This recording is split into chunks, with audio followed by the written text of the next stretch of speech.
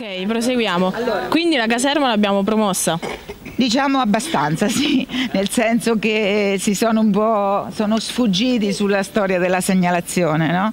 che vogliono evitare di mh, individuare, diciamo, loro dicono tu vai all'ingresso principale, se c'hai problemi loro ti segnalano dall'altra parte, però basterebbe anche segnalarlo da Sì, da è una quest'altra- accortezza in più. Esatto, è più una questione di, diciamo, culturale che, che dobbiamo per certi versi promuovere. Ma è problemi quelli che troviamo in giro per tutto il mondo, in tutto il mondo, quindi locali non accessibili, bagni non accessibili, eh, quindi insomma che noi diventiamo disabili in quel momento, quando il locale, il bagno, l'attività commerciale, il negozio, la banca, la posta non è accessibile, altrimenti siamo persone come le altre. La nostra disabilità è in base al dove è il territorio in cui, in cui siamo. Eh, quali sono le problematiche più frequenti che riscontrate nell'accessibilità? Le problematiche più frequenti è proprio quello che ha detto il mio co- compagno Paolo Vichi, l'accessibilità. Purtroppo anche quando andiamo a mangiare su qualche ristorante, qualche locale, c'è c'è posto per disabili? Sì. Vai in bagno e trovi un bagno che non è accessibile, la porta è troppo stretta, il water bassissimo, i rubinetti micidiali per terra, noi non vogliamo i piedi, se io mi devo lavare le mani come faccio a usare l'acqua? Che c'è un rubinetto per terra, Sì, bagno pedali- accessibile, i i pedali pedali per aprire i rubinetti. Eh, secondo me il disabile è il proprietario di quel locale che dice che c'è l'accessibilità per i disabili, non sono io perché io ho domandato prima, è accessibile e trovo che non è accessibile.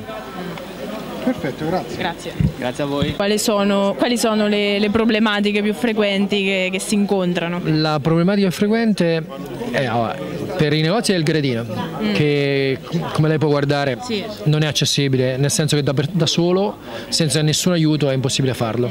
E questa direi che è una miopia da parte dei negozianti perché i miei soldi sono uguali ai suoi soldi e ai soldi di qualcun altro. Bene, quindi dovendo entrare a acquistare qualcosa o per me o per mia moglie, perde un cliente comunque sia. E questo è quanto. L'altro grande problema è una questione di civiltà. Il parcheggio che di solito viene o occupato o anche chi lo disegna a terra non lo disegna con dimensioni sufficienti, il che significa che andando in giro da solo in carrozzina non si può aprire lo sportello e non si può scendere. Quindi si deve ricorrere a mille stratagemmi. E questi diciamo, sono eh, due dei problemi più grandi. Eh, secondo me è un problema di cultura.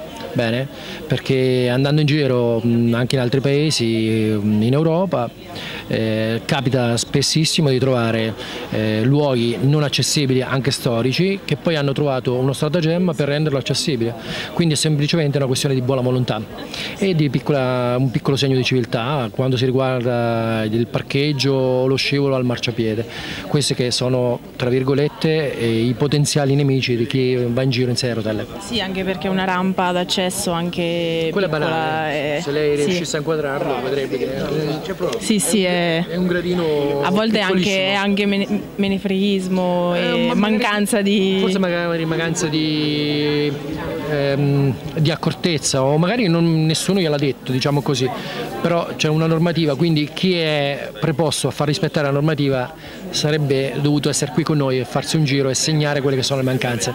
Forse questa è una grave mancanza da- dall'altro punto di vista, cioè le istituzioni alcune volte si preoccupano dell'accesso all'istituzione ma poi lasciano al privato eh, diciamo, carta bianca.